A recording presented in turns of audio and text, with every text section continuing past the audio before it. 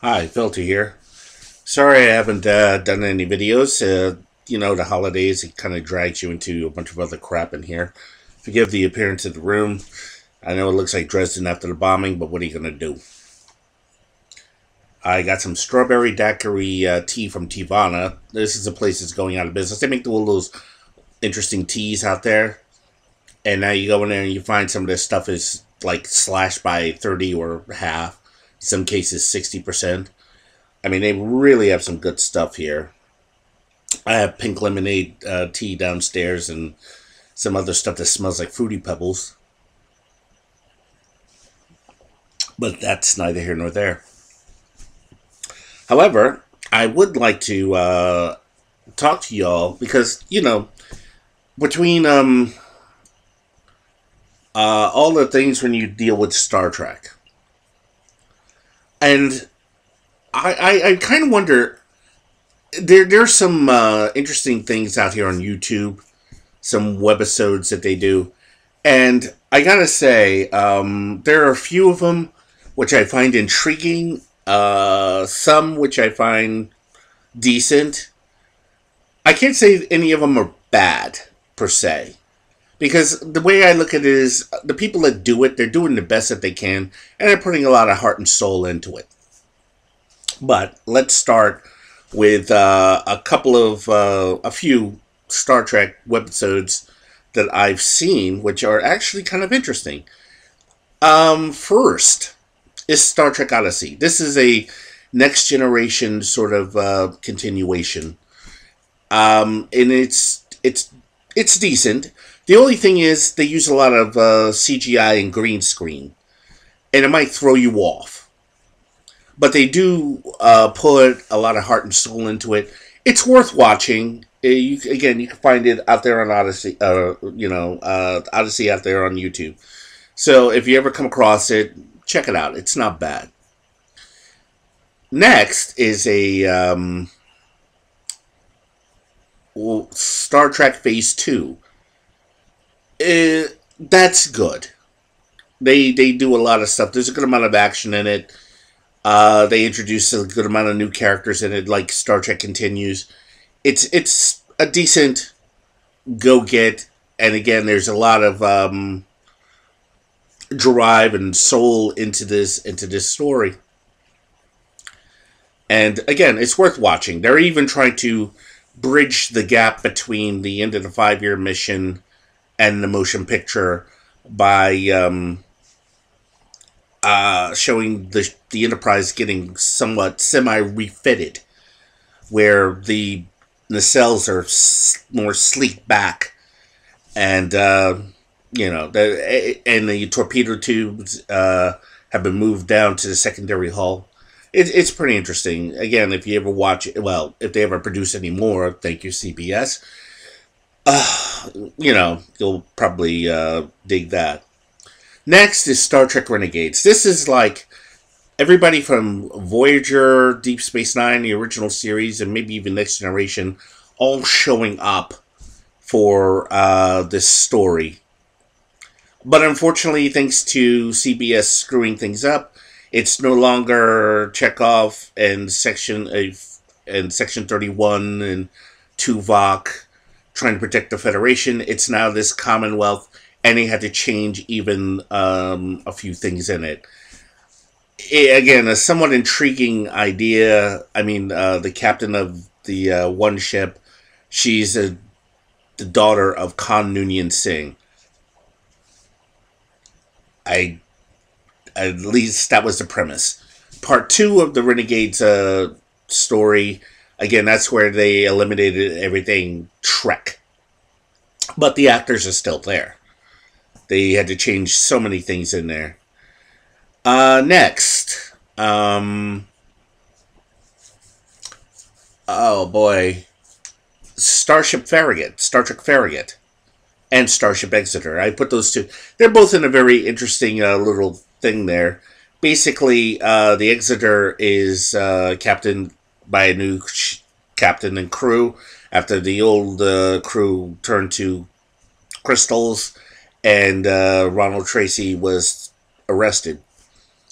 And uh, I believe there's an episode called "For Want of a Nail" that, and it's it's very interesting, and it ties into a episode of the original series, worth watching.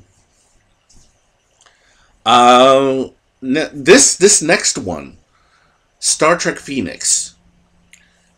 This by far had the best potential out of every Star Trek uh, spinoff I've ever seen. Basically, it's showing the aftermath of the destruction of Romulus and what the Federation is doing, the new technology that's come about. You know, uh, they had, you have a new transporter that's even more advanced, and and the like. And it is it's again, it's one of those things where, you know, upon watching it, it, it's really really great to watch. You know, it, it's it's fun. The ship itself is it looks like a very large version of Voyager, and uh, again, they only had like one episode, so I don't know what's come about it. I have to check to see if there's another episode. Next, this one, this this one is called Star Trek Outlaws. Now, the premise of this is very, very interesting. And I would love to see a live action version of this. I think it would be a much better Star Trek than Star Trek Discovery, in my opinion. Okay, here's the premise. I'm not sure whether it takes place in another galaxy or another universe, but we'll say it takes place in another galaxy.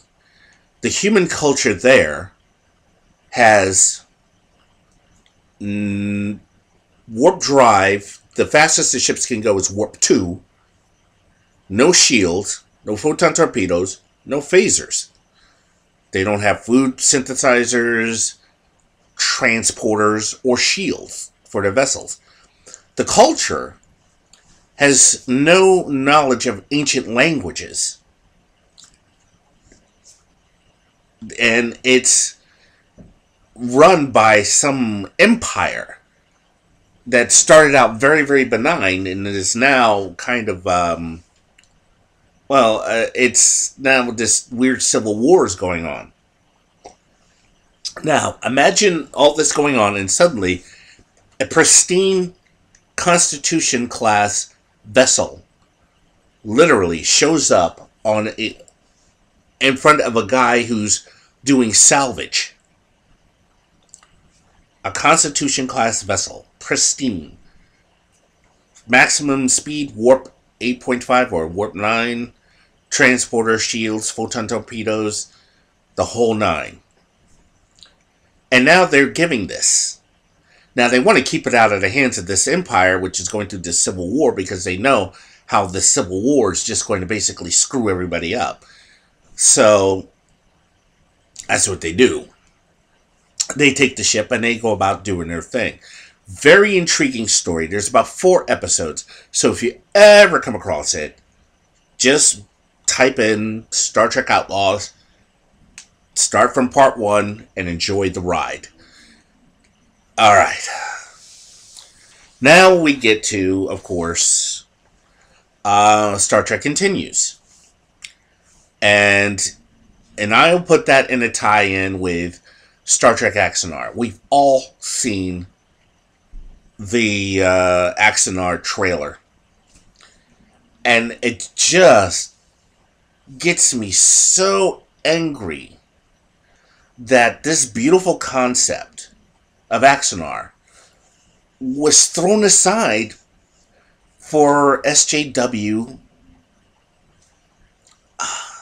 I don't know. I, I don't even know how to define it, but uh, y'all know what I'm y'all know what I'm getting at. So, like I said, do yourselves a favor, check out some of these things. If you haven't, check it out. Uh, and particularly, I like I said, Star Trek Outlaws. That's the one I really, really, honestly like, and I really think they should do a uh, live action uh, version of. And uh, let's see, there's a few.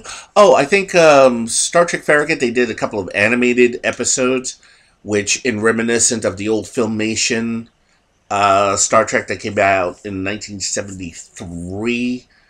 it, again, it's one of those things that is really, really worth watching. So again, um, if you ever get the chance, just check it out.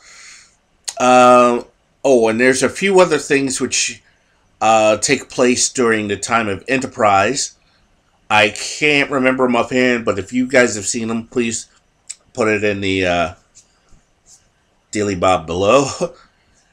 so, um, I guess that's it for now. And until then, I hope you guys are having a very, very uh, good week.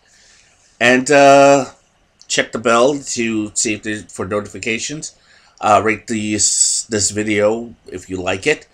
And until then, I'll uh, try to come out with something interesting uh, maybe uh, next later on this week. Till then, I'm Filter. I'm out of here.